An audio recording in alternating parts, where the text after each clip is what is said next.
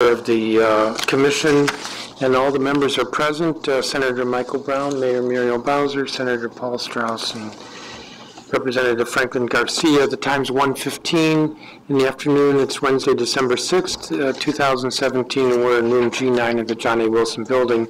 We have an agenda, and uh, I don't know if the folks who are in attendance uh, have a copy of it, but we'll have opening statements, then we'll discuss uh, the budget.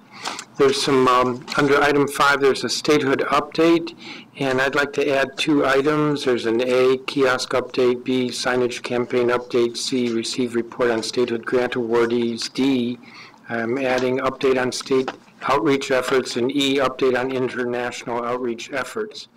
And following that, there'll be an opportunity for public comment. So why don't we begin with opening statements? I'm usually very brief on opening statements, as in, good afternoon, I'm glad everybody's here. Mayor Bowser, do you have an opening statement?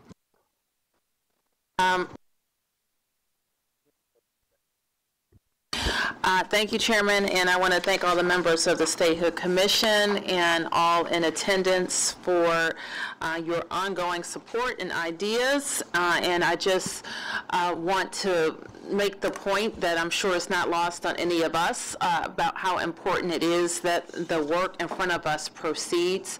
Uh, We've seen some uh, very substantial legislation move at the Congress, and we have not had a a vote uh, in those proceedings. And I think that uh, we should remind all of our fellow citizens about why we embarked on this effort uh, last year and the importance of making progress every uh, step of the way.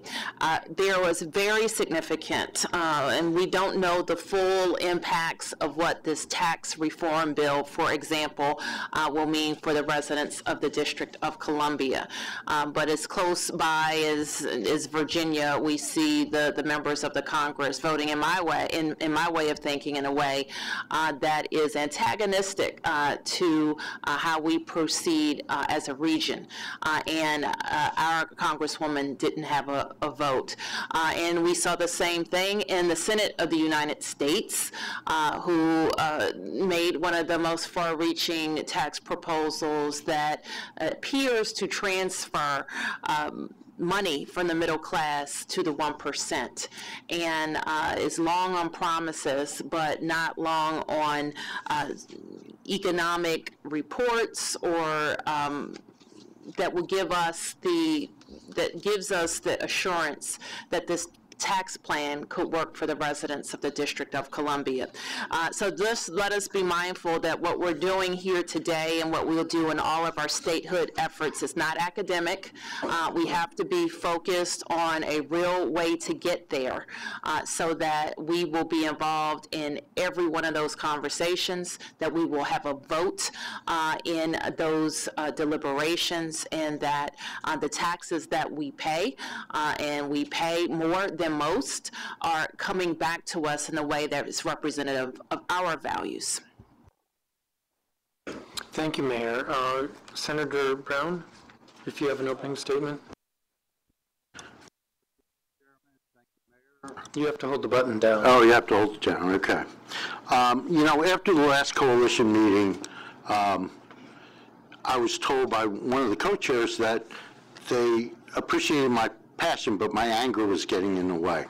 So before I start anger management classes next week, I thought I would address this.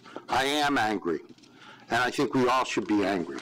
I'm angry at Congress for taking away our rights, rights that my great-great-great-great-grandfather fought for in the Revolutionary War. I'm mad at the Washington Post, who treats uh, this issue as if it's a passing curiosity, and if they covered it all, they put it on the fourth page of the Metro section.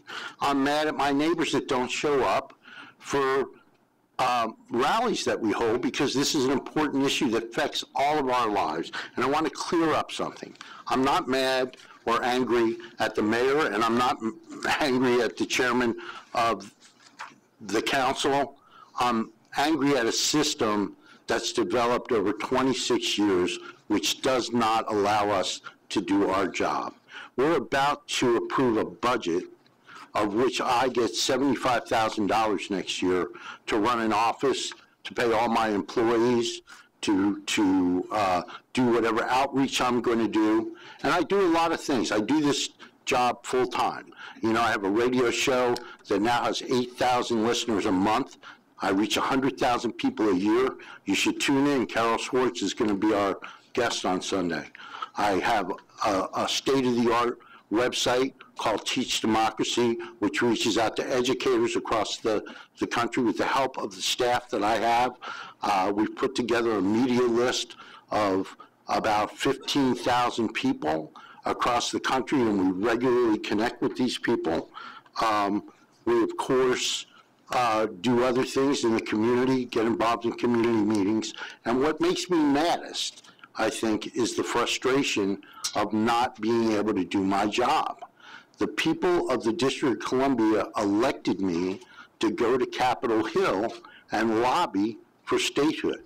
But yet, we've been taken, our delegation has been taken out of the Tennessee plan for the first time in the history of the plan. We were taken out twice by the city council. First, when the, when our, our delegation was first elected, and, and we put it back in last year, after we put us back in, after we, uh, spent all summer working on the Constitution, the first thing the council did was take us out again, unanimously. I understand that, but it weakens our position. Look, I go up to Capitol Hill, I'm just going to be honest with you, and the first thing the Republicans say to me when they don't want to talk to me is, you're a volunteer, right, Mike? And I go, yeah. And they go, well, let us introduce you to Susie, our new intern from Walla Walla High School, who's here to help Senator Cantwell. And she'd love to talk to you. And it bothers me and it makes me angry that we can't get the job done that we were elected to do. So I think we should all be angry.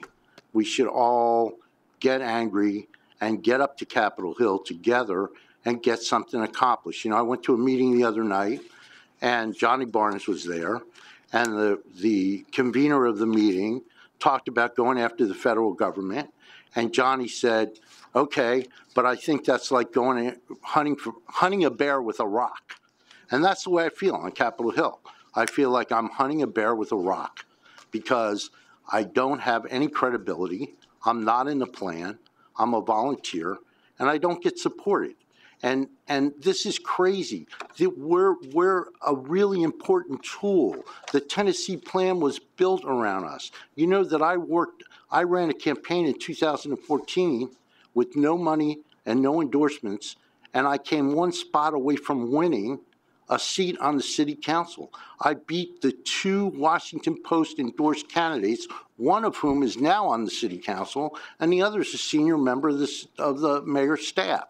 And I only tell you that because I want you to understand these people were substantial. I'm good at this, and my colleagues are good at this. Senator Strauss has put us on the international stage single-handedly.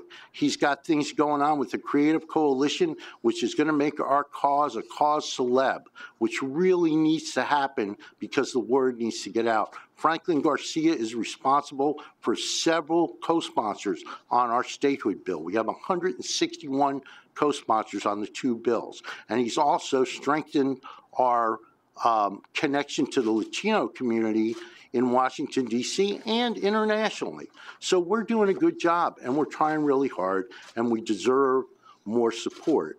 And that's all I want to say. And I hope that you will join with me in being angry, going up to Capitol Hill, and trying to get us the support we need to do the job for which we were elected. Thank you. Thank you, Senator Brown. Senator Strauss? Uh, Thank you, Mr. Chairman. Um, I thank my colleagues for their uh, introductory remarks. Uh, For the record, let me uh, remind uh, everyone that uh, not only couldn't our House member vote on the House's version of the tax bill, but your two senators couldn't vote on it as well. And tragically, it passed by two votes. So the lack of DC statehood, the lack of democracy for all Americans clearly has implications for uh, people around the country. This is a national issue. It's becoming an international crusade.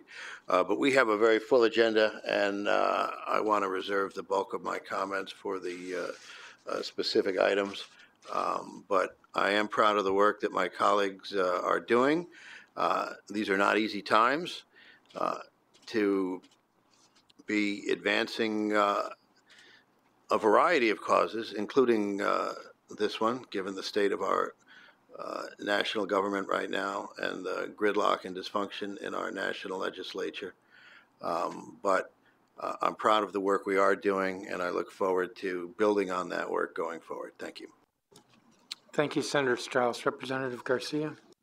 Thank you. Thank you very much, Chairman. Uh, I too am looking forward to engaging in the agenda. And the only thing I'm going to say is that, uh, uh, you know, in spite of this not being a, uh, a Congress friendly towards statehood, I think that we're seeing major improvement. Uh, we had uh, a couple of forums in the city where we um, saw a lot of interaction and a lot of involvement and engagement from the community. Uh, and so we're excited about that. Uh, what we talked about, one of the main things that came out of some of these uh, meetings is that uh, we need to make uh, DC statehood relevant to the common citizen of the District of Columbia so that they can actually uh, make this their cause a little bit more than we have been because I think that only when we make it relevant to them, I think that we get them involved. And so looking forward to being engaged in the conversation. Thank you, uh, Representative Garcia. The, um, we have uh, the uh, budget, which I think we have to approve. Who wants to present that? Senator Strauss? You have to hold it down. Uh, To hold it down. Yeah, this is meant to tie us. And we up. have to figure out how to get new microphones. And I'll, I'll work with the chairman on uh, doing that for the next meeting. Um, the uh, approved budget that we've gotten from the um, uh, existing process uh, allocates a total of $233,912 uh, overall. Uh, We have uh, a personnel budget and we have non-personnel items. We have distributed a breakdown of the stated initiatives that have been uh, focused on in our, our non-personnel budget items, uh, and I, I will go through them in detail. Um, specifically, we have our 51 Stars Public Service Announcement Program, for which we're budgeting $25,000. Um, that program, as you know, is uh, involves the recruitment of various Hollywood celebrities, stars, as it were, to help us get 51 stars on the American flag for statehood. We've had some uh, great response from the entertainment uh, community, and not just entertainment. One of our, our stars was the world boxing uh, welterweight champion Jesse Vargas, who actually won his belt here in D.C. and did a spot. Um, but uh, recent spots have featured Rosario Dawson, Jonathan Banks, uh, and our, newest spot that's currently in post production will feature DC's native son, Dave Chappelle. So we're, we're excited with that. Um, we have our targeted states uh, outreach program, which deals with various groups, including our Iowans for DC statehood. They've asked that we update you on their activities later in the, the program, and, and they've sent us all some small gifts from the Iowa Steak Fry. Uh, that's twenty thousand dollars. Our international organizational uh, efforts, uh, that includes our membership dues to the UNPO uh, and travel to various committees that we'll also update you on later. That's approximately fifteen thousand eight hundred. Um, and then we have some smaller. Uh, we, we have uh, Senator Brown's radio show uh, for four thousand eight hundred and forty. Franklin Garcia's DC TV show. Uh, some miscellaneous items, they total up to uh, roughly $100,000 uh, in our non-personnel. And um, so we would move uh, approval of that. This is essentially similar to what we've done in fiscal year uh, 17 and 16. Uh, But I think despite the modest investment, we're getting good returns. Uh, And then there was a modest uh, unspent amount of about 23,000 uh, from fiscal 17 that we are uh, redirecting into our personnel budget to cover personnel costs in, in excess of the initial budgeted amount. Senator Strauss, so as I read this, and uh, members, we've got three documents, one of which says available balance report as of 12/4/2018, A second is a breakout of personnel. And the third is uh, statehood initiative is the title. It's uh, NPS expenses. So the total budget, looking at the three documents, is $257,249. And that includes the local allocation, the appropriation of 234,290, excuse me, $233,912 that Senator Strauss mentioned, plus the $23,951 that you said was rolled forward from unspent FY '17. Yes. That's a total of $257,249, of which $100,000 is this NPS, non-personal services expenses, Right, those are the various initiatives. that which you've is broken outlined. out on this, um, It is. this uh, table, and then the remainder uh, is, uh, which is $157,249 is for personnel. That is correct. Okay, so if we look at the three documents together, that's the budget and how it's proposed to be broken down. It is. If it helps, I'll move the- for approval, or you can move for approval and I'll second, Uh, I move approval. And I'll second. Discussion on the budget? Mr. Chairman? Mayor? Uh, Let me just uh, comment on um, the 51 Stars PSA program, and I may be outing myself as a obsessive watcher of cable news, um, but I see the, um, these PSAs quite a lot in rotation, and sometimes I'm just, ca- they- they're called to my attention because I hear Senator Strauss's voice, and then I go and look to see uh, who he's talking about statehood with. So I, I just want to commend you for on that campaign uh, and ask you: Are we also able? Are those PSAs running in other um, in other areas? And what's and how could we ma- make that more broad? Well, I, I think we can. Uh, certainly, in the very beginning, we ran them in uh, Iowa in the year leading up to the presidential caucuses, and I think it had a tremendous effect uh, in terms of raising public awareness uh, on the public affairs shows that we sponsored.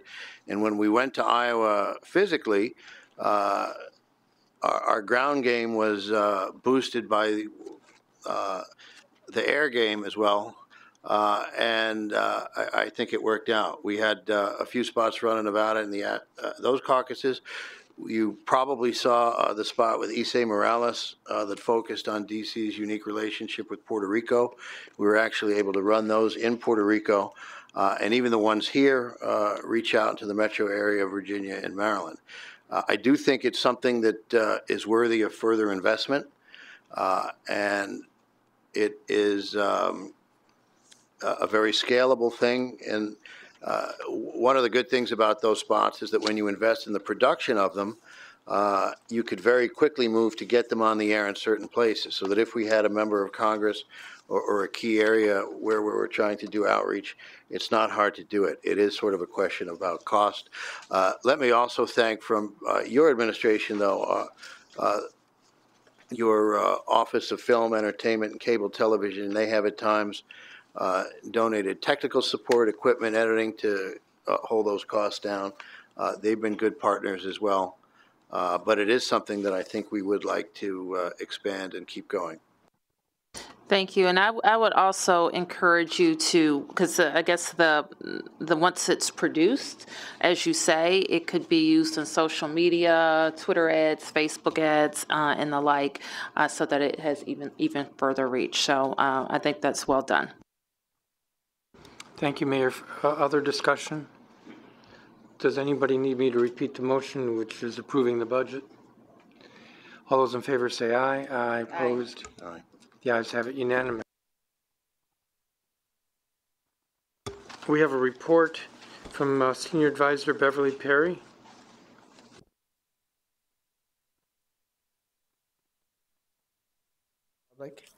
Um, last meeting, we talked about, um, we did a recap on, uh, last year, our efforts last year in 2016 and to, um, execute the Tennessee plan. And so, and that was followed by earlier this year, Mrs. Norton introduced her bill, and you heard, uh, the senator say today that we have a record number of co-sponsors of Mrs. Norton's bill, 141 uh, co-sponsors in the House, and 20 members of the Senate has co-sponsored the bill. So the team is working on additional co-sponsors, and what we've done, we have um, prepared letters to all the co-sponsors to from the mayor to thank them for their co-sponsorship, and we are also sending a letter to all of the other members of Congress to ask them to join in co-sponsorship.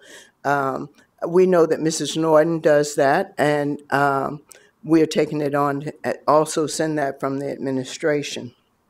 Um, we are also using um, other issues of Congress, uh, other issues before Congress to highlight our lack of um, of full democracy. For example, you heard the mayor say about the tax bill, we didn't have a vote in the House or the Senate. We have sent a letter to all the members of Congress to point that fact out, to say that this critical issue that impacts the, all of the residents of Washington, D.C., but yet we don't have any vote there that we, or anyone we can express that can vote on our behalf. So we're using issues to highlight our lack of democracy as well. Um, we have talked about the campaign, and I would be the first to say that we're, um, we're we we received money in the budget um, for the first time for the staff uh, to launched the campaign. We have we're a little bit behind where we thought we would be at this point, but it, it was a, it's a lot to deliberate on and make sure we get it right. So the campaign we are launching has two parts. It has an in-town part and an out-of-town part. And the in-town part, we we think that we've come up with some good ideas. Um, we have surveyed the Convention Center Events DC, and we know that we get 20 million visitors um, here each year. And of that 20 million visitors, we let them come without educating them on our lack of democracy. So we have come up with ways we have uh, to communicate with them. We've looked at high traffic areas, and we are intending to uh, place kiosks, an interactive kiosk at the convention center. We're looking at other areas like the Ronald Reagan building. Um, we talk, we have reached out to Union Station. We're also reaching out to the airports, and we will place kiosks, an interactive kiosk, so when people come into Washington, wherever they come from, they can go in the kiosk. They can communicate with their senator or their uh, representative from the kiosk, and you know, um, support us and ask their senator to su- support us in our statehood efforts. So we um, we met with vendors and um, we have that underway. We are, as a matter of fact, we have the statement of work. That's I think is we just sent it out. So uh, it's those kinds of things that haven't been done before. You know, we're carving out new turf. So it's taken a little bit more time than we uh, had anticipated. So, um, and, and, the kiosk will also give a historic overview. It'll be as much information as people want to engage, but we're going to have a, a summary right up front. So, just a, a quick glance will give, you know, the, the highlights. Um, the um,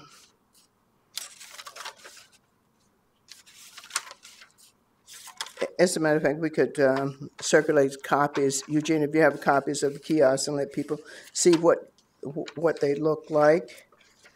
Uh, that the kiosk will be what we're doing in town. Some of the other things that we're doing in town, we have a signage um, proposal, and um, we are looking at putting uh, boundary markers. You know, last year when we developed the um, boundaries in developing the Tennessee plan. Part of it, we had to submit the boundaries of our future state. we intend to put boundary markers around our state so that, eh, with messages. Uh, for example, one of the ways, one of the boundary markers, we intend to have the stars in the street, like you see the stars around the Warner Theater, but have a huge star in the street with a message on it. And we pl- intend to place 51 stars in our sidewalk. Um, so when people walk around Capitol Hill, they will be getting that message as well. Um, we have signage, um, our gateway signage. If you recall that when you enter Washington DC, you will see a large sign that says "Welcome to Washington." We want to put a subtle message on that sign that says um, "The future 51st state." Um, we will, we plan to mark our historic trails. We think we can add some um, signage around the historic trails in Washington with key messages, key facts about our tax, our lack of, uh, of uh, vote, our taxation without representation, and uh, all the messages that we talk about all the time that we are larger than two states. We have 682,000 people and all of that. So those are some of the things that we're planning to do in town to capture uh, the people that visit us. Out of town, we've talked about last time when we talked about our budget, our request for a budget, we said we need temporary people to come in and manage our social media. So we're developing a war room. We will have two people there. Uh, we have identified 10 states that we intend to um, reach out to first. That, and those 10 states are the state of Washington, the state of uh, uh, Alaska, um, no, I can't see my paper, but in, can you pass me the list of states? I can't see it. I can't see the letters in there. And anyway, there are 10 states that we are we have identified that we believe that because of their demographics, um, for example, because of Alaska was the last one to use the Tennessee plan, and some other work because of uh, different factors about those states, we believe they will be more receptive. For example, we share uh, a common frustration with Alaska because most of their land is federally dominated, like a lot of land in our city. So we believe some of the common factors with the states we have, we have identified will make those states more amenable. And those states also have mixed delegations. And the whole goal, uh, our immediate goal, is to have a Republican join these lists of co-signers. All of the co-signers uh, to date are either Democrats or independents. And our goal is to pressure, to, to educate people to get that first Republican. I, I think I heard someone from DC Vote say that when they talk to Republican people, uh, Republican members of Congress, they're always concerned about being first. So we just have to get that first person to sign on so that other Republicans will be comfortable signing on. Um, so just for the record, um, the 10 states are New Mexico, the state of Washington, Alaska, Illinois, Indiana, Maine, New Hampshire, Georgia, South Carolina, and Arizona. Um, the um, two people that will be working in our office, um, they will be working full time on social media.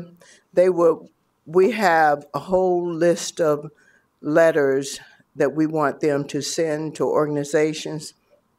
They, every day they will be reaching out to stakeholders in those 10 states. They may, we may expand that to some other states depending on how the workload uh, flows. But they will be managing the website. Every comment to the website, we needed to be responded to. Um, they will write letters, social media, they will write to legislators, they, we will write organizations. We will have a whole list of stakeholders in various states, and we will ask, like, for example, uh, last month, Eugene Kinlow went out to the state of Washington. And while he was out there, he met with the Urban League, he met with the NAACP, those types of organizations. And we will ask those local organizations to reach out to their delegations. And we also will create a speakers bureau. And with the speakers bureau, we will ask those organizations if they would like to invite Washingtonians out there to speak. And so we're hoping uh, that we will have the chairman uh, go out and speak to some graduations. Um, we believe, and the mayor um, and the delegation to speak to various uh, organizations, uh, ceremonial events around the country, and use those as educational opportunities. So those are the things that we're doing. They, we also wanted to, uh, we added to our report the uh, statehood grant awards that we gave out. And um, we don't have a report on all of the activities of the grants. But one thing we have um, learned is that our grants, the way it's structured, they usually go out later in the fiscal year. So we're trying to move that up. And so, to many of the uh, grantees in, in the audience, we hope to uh, move up those awards so we can make sure that you have more time to complete whatever activity that you would like to uh, contribute to this statehood movement. So that concludes my report, Mr. Chairman, unless there are questions. Uh, Thank you, Ms. Perry. Are there questions, uh, Representative Garcia?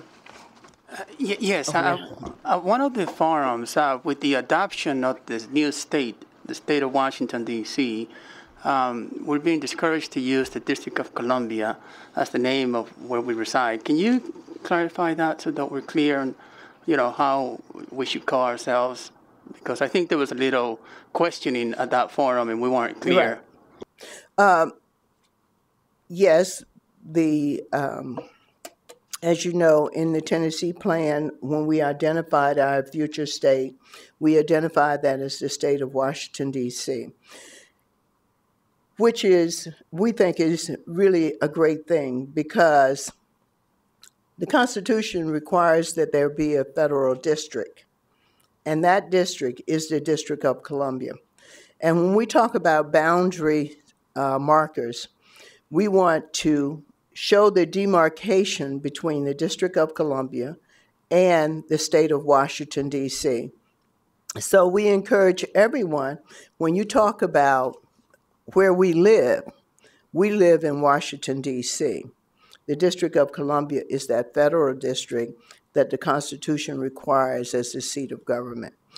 One thing I failed to mention also that last time um, we talked about the um, Puerto Rico election and their statehood movement as well. We had done some outreach to uh, the governor of Puerto Rico to request a meeting.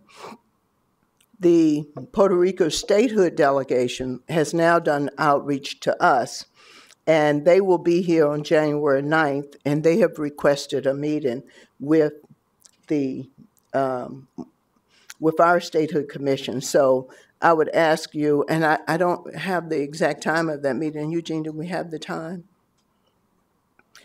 We, we have the date, we don't have the time, um, but we know that they will be here. They have requested to meet with this commission on January 9th. So I ask you to uh, mark that date on your calendar, and I hope the members of the commission will be able to attend. I, I think that's actually going to be January 10th. Well, they gave me ninth, so, I, I understand, I just, uh, there- there's Okay. a bunch of them, there's a bunch of us, I think it's going to be January 10th. there are no further questions. That concludes my Let report. me see if uh, any of the other members have questions. I had one question. On the 10-state outreach, how did you pick the 10 states? Uh, we reviewed their delegations, and um, we, some of them are members that we work with in other capacities, um, members of the delegations in those states. Um, we spent weeks going through, looking at every state, the delegation of every state, who the stakeholders are, the key stakeholders in the state, that we feel that the elected uh, respond to. Um, I, I, you know, we did a major assessment. The team did. Um, so, and we came up and we thought those ten states, and we also did it by geography. We thought that we should go west, south, north, east. Okay. All right. Thank you. If there are no other questions from members, uh, we'll proceed to um, the Washington DC Admissions Act. That's the Senate bill, it looks like.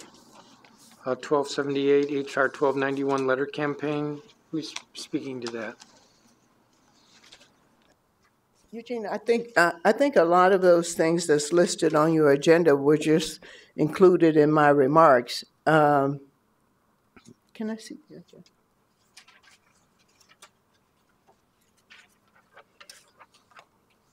I think you covered that, Beverly, when you talked about the, the targeted letter writing to senators. Right. eh, Yeah, we thank them, and we're asking for additional co-sponsors. We also, in the statehood update, I also talked about the kiosk update, the signage campaign, um, the grantees. I, I, I submitted the list in the package. If you want me to read the list of the grantees of the state, statehood grants, I can do that. I think we have it, so. Okay. Uh, Well, then that would take us to the update on state outreach efforts, I believe. Is that Ms. uh, Senator Strauss?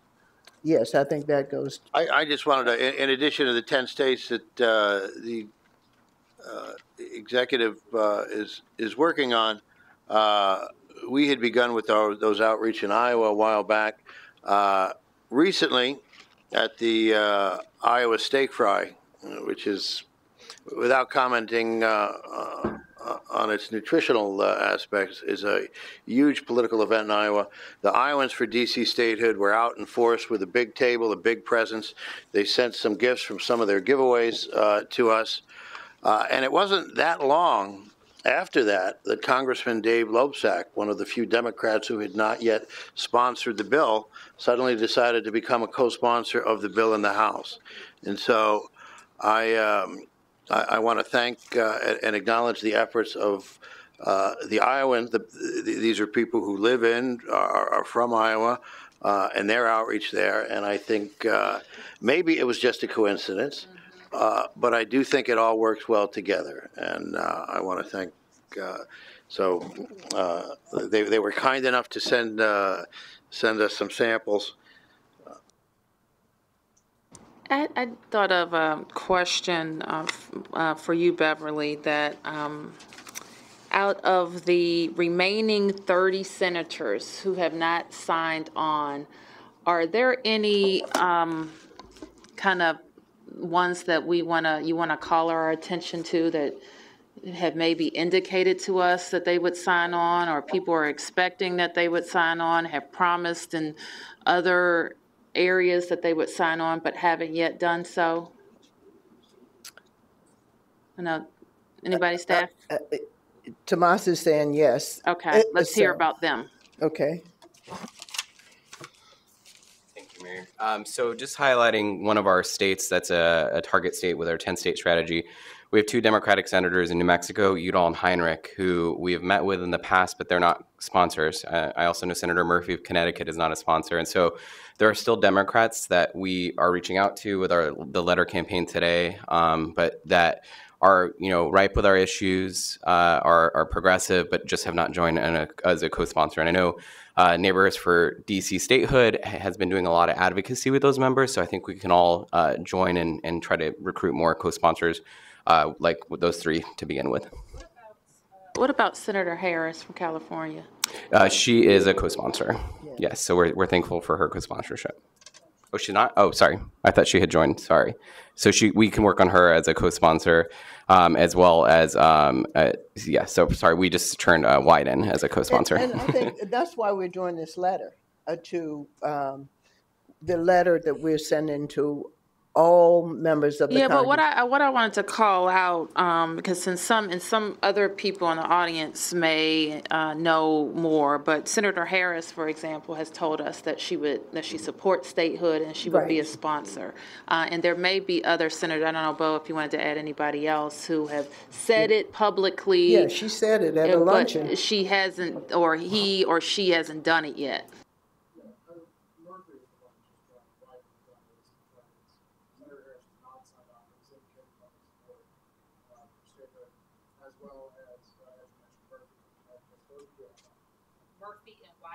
Murphy, uh, Wyden, and Harris. Wyden is from, Oregon, Merkley just came on board. okay, Murphy is on, okay. Merk, wait, Merkley from Oregon came on board. Murphy from Connecticut is not yet. Got it, Murphy. I may have mumbled. Uh, Further on this? Uh, Then uh, let's turn to update on international outreach efforts. Senator Strauss? Uh, Thank you again, Mr. Chairman. Uh, At the last meeting, we spoke about uh, some of the outreach efforts that were made at the last General Assembly meeting of the UNPO, uh, where Senator Brown and I uh, attended. At that meeting, I had the opportunity to speak at a human rights conference that took place at the Scottish Parliament, along with members of the Scottish Parliament and other human rights activists from around the world. Um, I, I guess I didn't do too bad a job because following that, I was invited by uh, a group to speak at an international human rights conference in Rome.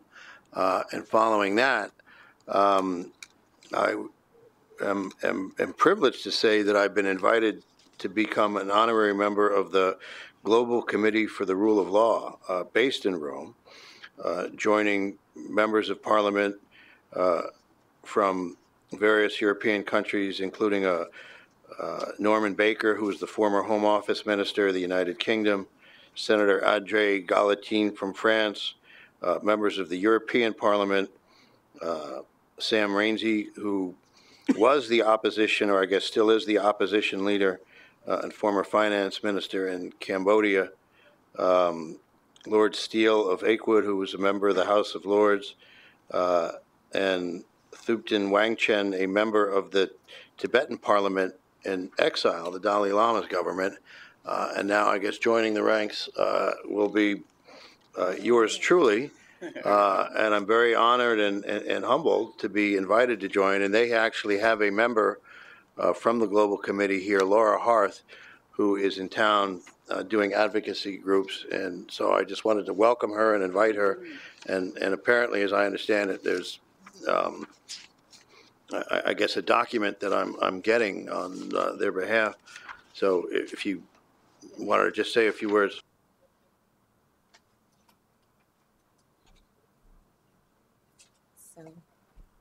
Thank you very much. First of all, Senator Strauss um, and the entire government uh, of Washington, D.C.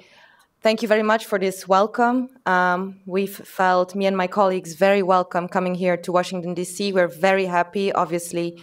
Um, it represents so much to the eyes of the world. And I was just reading your posters here and seeing that um, nearly 80% of Americans are unaware of DC's lack of access to full democracy. And obviously, when I met Senator Strauss and Senator Brown in Edinburgh, in Scotland. I have to admit, me myself, I was not aware um, that, you know, in the heartland of democracy uh, for the world, people in DC actually have no vote. And I think Senator Brown, first, he was he got a bit angry, but I understand it's very upsetting because if you don't have a vote, you clearly don't have a voice, and um, that, as the representative of the Global Committee for the Rule of Law, we know very well if you don't have a voice, it's very easy to get trampled over, and the first thing to go are your basic human rights, your civil rights, political rights, but also economic and social rights. And I think Puerto Rico has been named a couple of times, and I think it's very clear how they have been treated. And I am convinced that they, if they had a vote, a voice, if they were represented, uh, things would have been very different. So I think your cause is a very noble one. It's a fundamental one. Um, it's the basis of any democratic system. It's the basis of the rule of law. And so we are very honored, Senator Strauss, that you accepted to become a member of this global committee.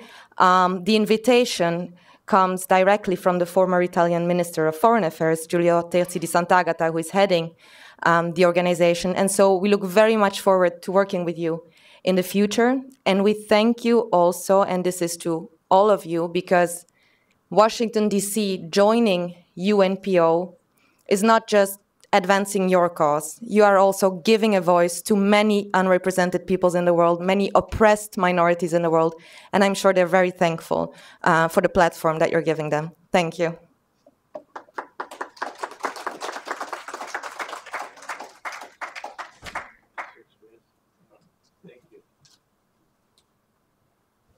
Thank you very much. Um, One of the concerns uh, that was raised by someone we began making outreach to these international communities is how can you really compare DC statehood uh, to some of the horrific violations of human rights that take place around the world?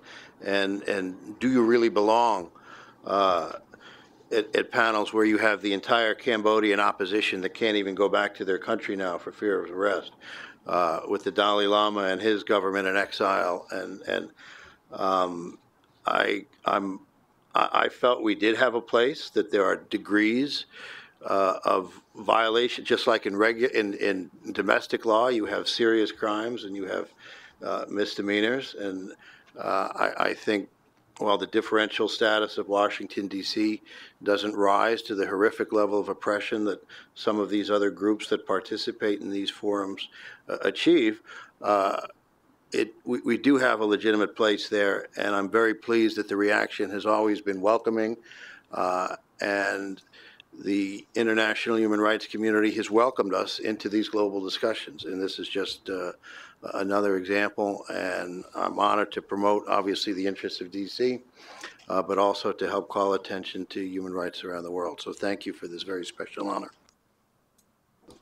Yes, thank you. Anything else from commission members regarding uh, international outreach? Yeah, I'd just like to add, um, I was with Senator Strauss in Scotland, and I don't know if he's mentioned this, but we got UNPO to pass a resolution. I introduced a resolution on DC statehood, and it was passed unanimously. So this has been a really, really terrific thing for us. And I've been invited to speak early in um, the new year in Portugal with a senator from Maryland and the senior editor of Bloomberg News. I've been included on a panel to talk at an international um, conference which will involve, I think, 15 heads of state uh, in Portugal to discuss statehood uh, in May of next year. So this has been a really, really positive thing for us. It was something that Paul thought of and pursued and made happen, and we really are making an impact on the international scene. So that's a very positive thing for us. Thank you, Senator. If there's no other business from commission members, let's open up for public comment. If there's anybody who wishes to speak.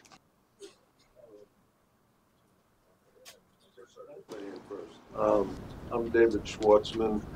I'm the chair of the Political Policy and Action Committee of the DC Statehood Green Party. Speak Uh, For those who don't know, the Statehood Party, which is the forerunner, really started the if you movement. could use your, the microphone. Should I get up? Yes, please. Okay.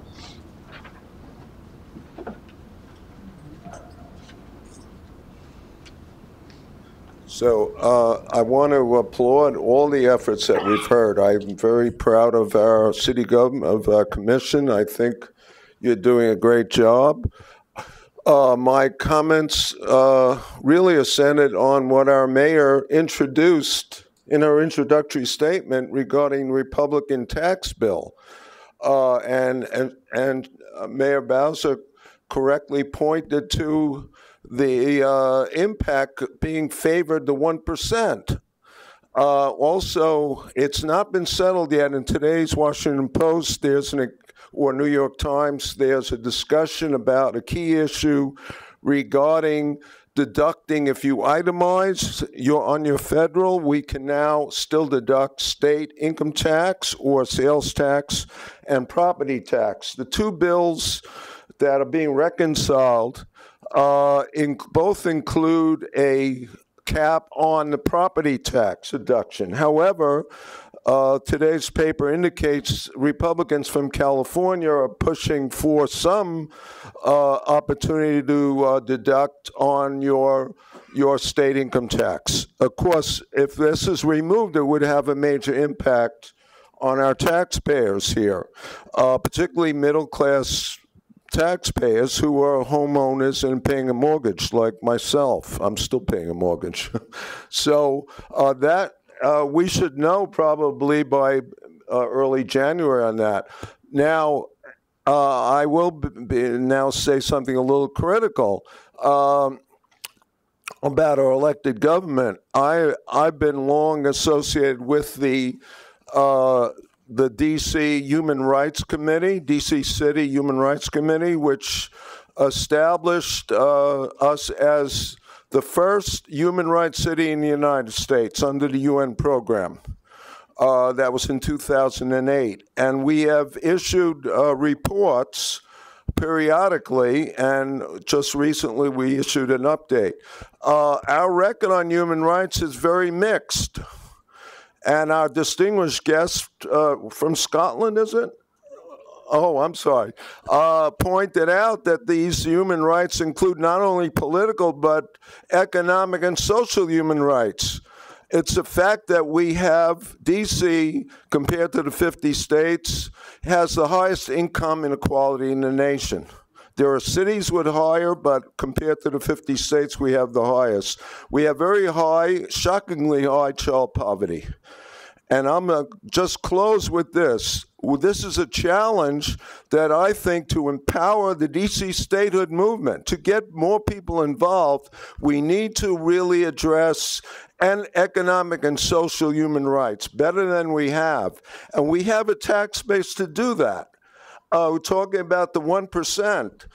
The, uh, according to, the- with all the did you tax say you triggers, had a I'm report? almost done. Okay, I'm 'cause we sorry. would I like you to won't, uh, submit the I won't report. allow time for everyone else. Uh, the, according to our present tax structure, with all the tax triggers put in, a millionaires in DC, which have an average income, the top 1% of over $3 million, uh, pay a year, now pay a lower t- overall DC tax rate than all but the poorest people in DC. And that data is available. And they have, uh, as of 2015, a taxable income of $5.4 billion. So I would propose, suggest that our elected government uh, readjust our tax structure to give tax relief to those affected by the Republican plan and uh, modestly raise the tax rate of the top so we're able to better meet unmet needs. And I'll just close with this temporary assistance for needy families which is the the uh, benefit rate, the income benefit, is mainly responsible for a hard child poverty rate. It will be 36% of the federal poverty level next year if the schedule increase is put in. And now New York has 46% of the federal poverty level. And uh, this is my last sentence. And Maryland has now 38%.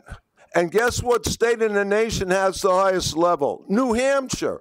So white children, mainly white children in New Hampshire, are getting 60% of the federal poverty level in their income benefit. And I'm not Mr. saying Schwartz, TANF is the only program, and universal child care is necessary. So please, I've stated my position. Thank you. We liked your last sentence, which I think was a run-on sentence. You're the one who said last sentence, uh, Anise. Denise, you want to just grab this one? Just hold it down. Yes, I just. Hold the button down. Yes, hello, everybody. I'm Anise Jenkins with Stand Up for Democracy in DC Coalition. We just, otherwise known as Free DC, we just celebrated our 20th anniversary.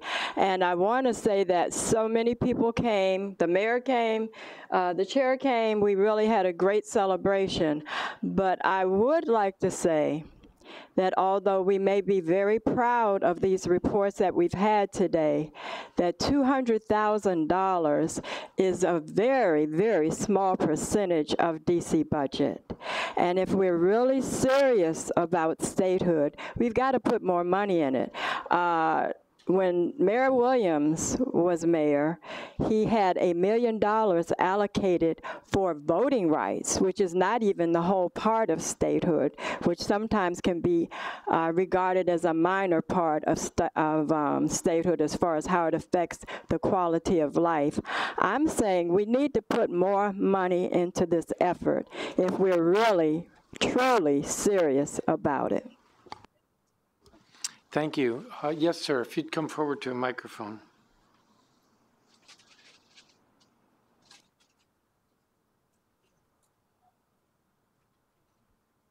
Good afternoon, good afternoon. Mayor, Chairman, Senator from both sides, as well as Representative. My name is John Cheeks. I'm the Executive Director of the United States Recovery Initiative Act, known as DC Recovery. Statehood is okay, but we need reparations for living descendants of American slaves who are currently residing in the District of Columbia. I know that statehood should be an issue that comes behind recovery efforts. For most of you who don't know what the DC Recovery Act is, it's about non taxpayer responsibility to pay injured descendants of American slaves. The district was built off the backs of my ancestors. How many black Americans do we have in this room? Chances are your ancestors were slaves. And I can understand your issues about standing up for your rights. It comes with a lot of different implications. I don't care. I am here to represent my people. I am proposing a new initiative act that the people of the District of Columbia will be voting on next year, pending the Board of Elections approve this, Mr. Mendelson. It's, it's very important. My committee also had the Confederate statues removed throughout this country. We are looking to bring DC to a productive scale for all the people.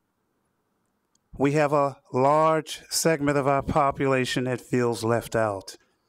I'm not against developing of any kind. I'm all for it. Good development includes all the people. A lot of our people feel completely left out and they're very aggravated. Please, let's come together for the DC Recovery Act. You can go online and take a look at it. The website address is uscria.com. uscria.com. We include everyone. Thank you very much. Thank you, Mr. Cheeks. Other comments from the public? Yes, Mr. Ryman Snyder.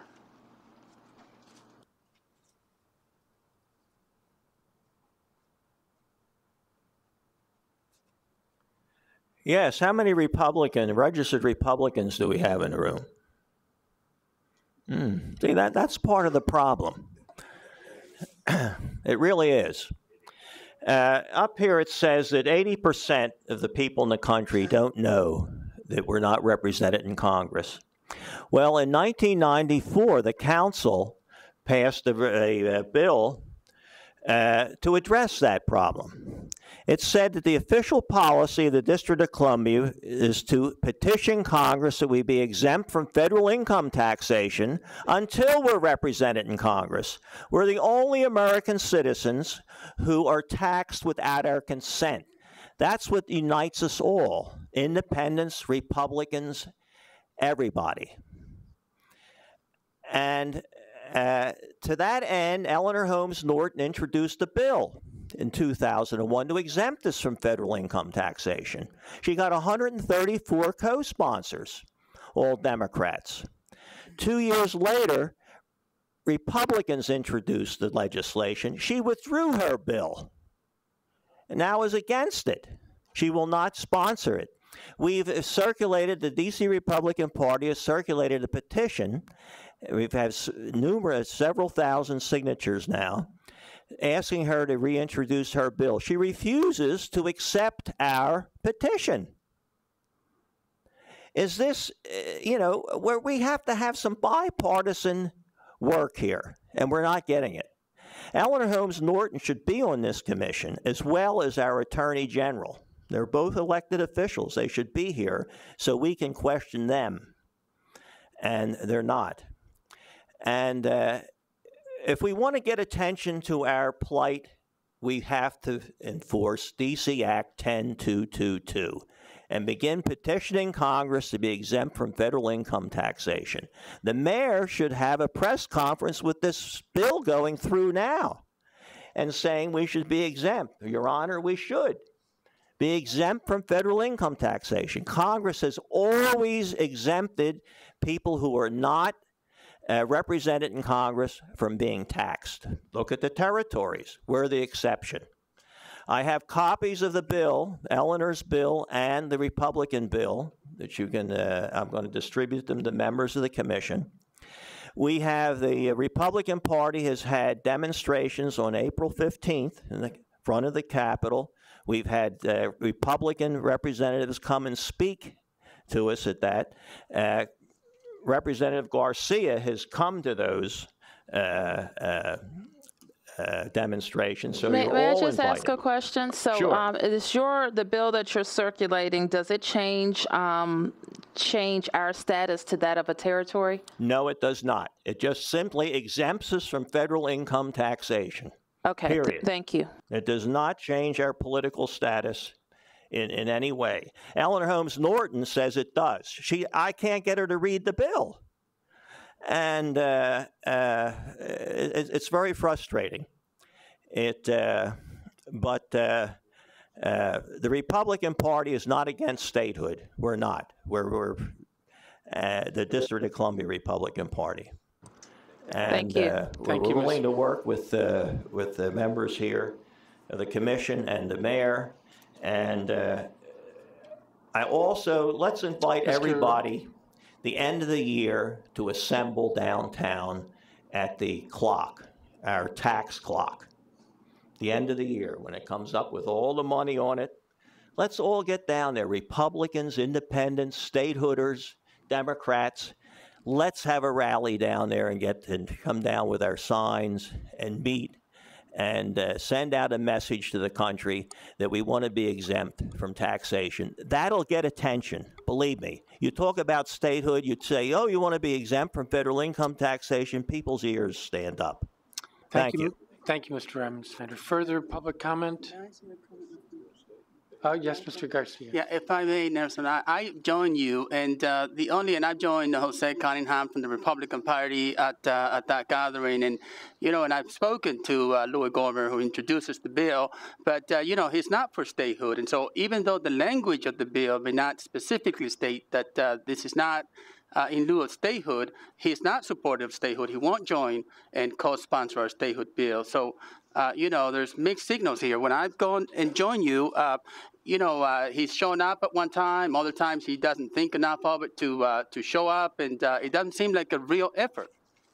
No, he's no, he's not for statehood. That's true. But he's put in a bill to exempt us that we have a grievance. He recognizes our grievance that we were taxed without our consent and it's unfair. You read the bill. Please read the bill. I'm going to pass it out. It, re- it reads like the Declaration of Independence. And uh, and uh, so he's recognizing the Republicans have recognized he had ten co-sponsors have recognized that we are have a grievance that we are taxed without our consent. And until that's uh, until we're represented in some way, we should be exempt from federal income tax. Thank you, Nelson.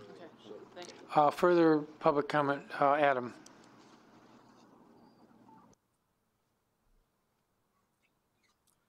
Greetings. Um, my name is Adam Aaron. I'm a native Ward 6 Washingtonian.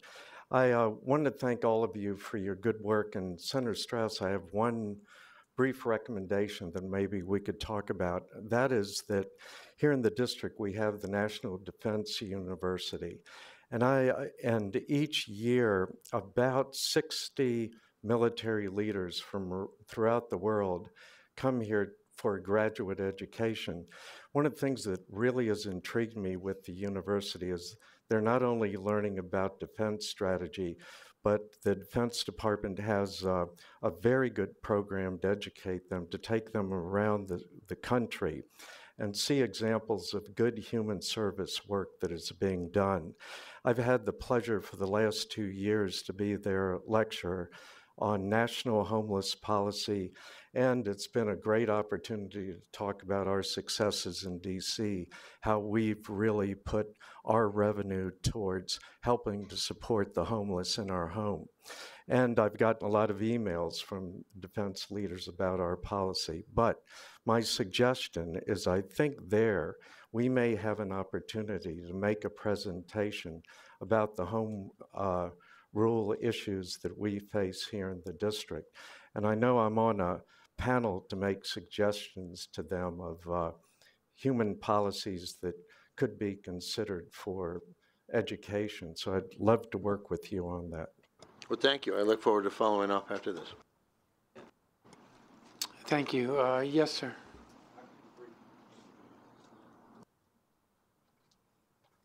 Greetings. My name is Leo Wilson Jr. I'm the owner operator of a thoughtprocess.com. Um, my, my question is very simple. You all were going over the budget earlier and um, the activities that you're doing to promote and um, support statehood. Um, I support Free DC um, in their endeavors. Uh, I've been brought here as well as other events on behalf of them. I document and I voluntarily do that as uh, part of my scope of practice. My question is for individuals who are true Washingtonians, whether they live here or not, how do they become more involved directly with the decision makers and actually contributing towards accomplishing this large goal? Um, myself, I believe that there's a perspective that's, that is being missed, and that is the perspective of the actual people who are affected. Um, I don't think that that's really being fully uh, delivered on a larger scale. I think that if you approach things from a different perspective as opposed to we're elected officials and we make decisions and we have a large responsibility in that capacity, but actually getting the comprehensive thought pattern of the people that actually are affected by this, I think that you can get more support that way. So I ask that I ask that question of how to become more involved, as well as notify you all publicly that I would like to get more involved, and I continue to support Free DC. So that's my question. If I could venture an answer for members here, uh, you identify one of the groups that's active in the issue and uh, align yourself with that, or uh, if you feel more energy, you organize your own group. But that would be the way to do that. Yeah, let me, let me just add to that, if you don't mind, Mr. Chairman. Sure. Look, I ran a political communications company for 25 years, and we were very successful. And we ran national campaigns. And it takes money to do this. And we're not putting, as Anise pointed out, we're not putting enough money into this. You know, we spent $200 million to build a streetcar line. We can certainly put 1% of that into our effort to secure our basic civil rights. You want to get people involved, it takes money to do that. Thank you, Senator. Now, we're going to move on Sir, you had a,